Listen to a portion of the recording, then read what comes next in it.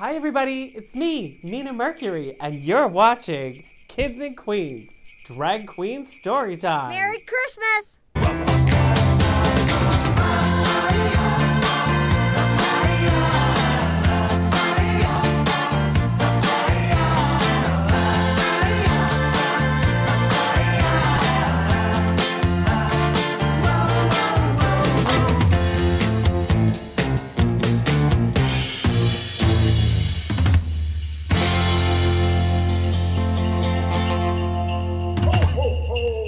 Hello, children of all ages. It's me, Mina Mercury, from Drag Storytime, Kids and Queens.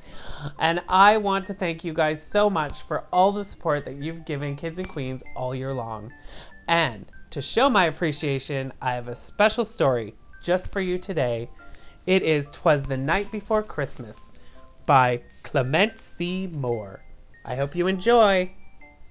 Twas the night before Christmas, when all through the house not a creature was stirring, not even a mouse.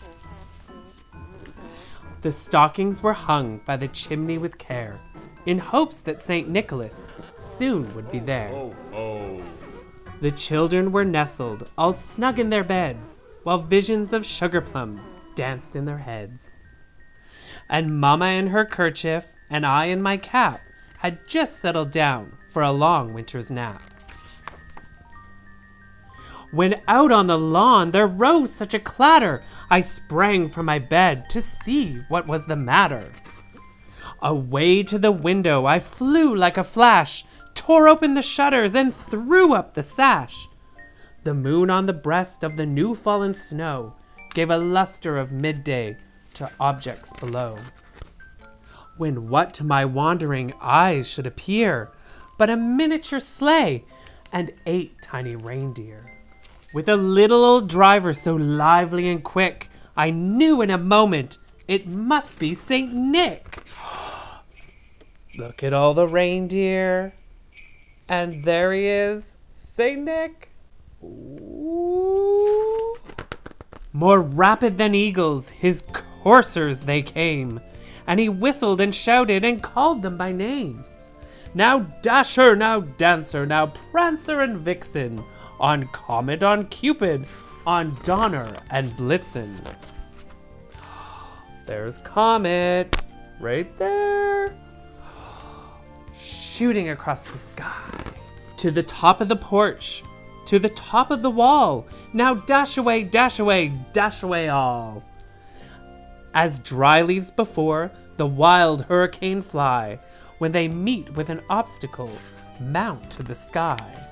So up to the housetop the coursers they flew, with sleigh full of toys, and St. Nicholas too. And then in a twinkling I heard on the roof the prancing and pawing of each little hoof. As I drew in my head and I was turning around, down the chimney St. Nicholas he came with a bound. He was dressed all in fur from his head to his foot, and his clothes were all tarnished with ashes and soot. A bundle of toys he had flung on his back, and he looked like a peddler just opening his pack. His eyes, how they twinkled, his dimples so merry, his cheeks were like roses, and his nose like a cherry.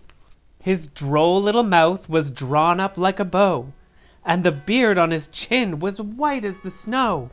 The stump of a pipe he held tight in his teeth, and the smoke it encircled his head like a wreath.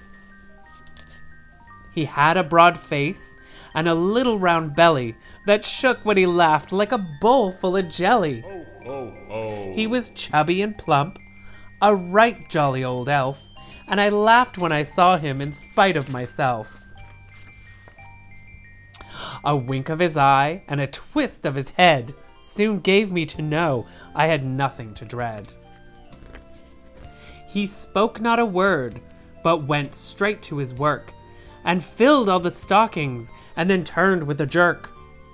And laying his finger on the side of his nose, and giving a nod, up the chimney he rose. He sprang to his sleigh, to his team gave a whistle, and away they all flew like the down of a thistle. But I heard him exclaim, as he drove out of sight. Merry Christmas to all, and to all a good night. The end.